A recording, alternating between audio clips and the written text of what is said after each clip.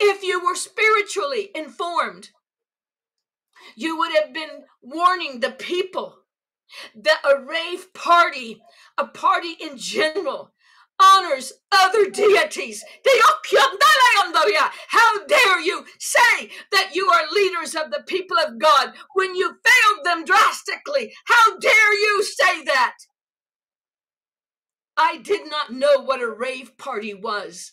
I didn't know what was involved, and I, like the rest of you, thought what a, a horrible massacre that took place. But what you didn't realize, they were honoring Satan. They were not honoring God at that festival.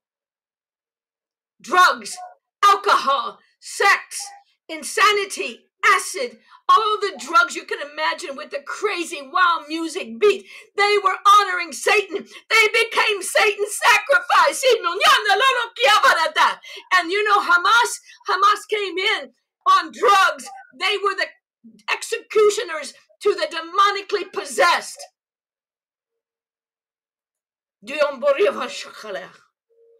And then you yet point your finger at God and raise your fist don't you speak that holy name and then honor some other deity. Don't you speak that holy name and then honor another God.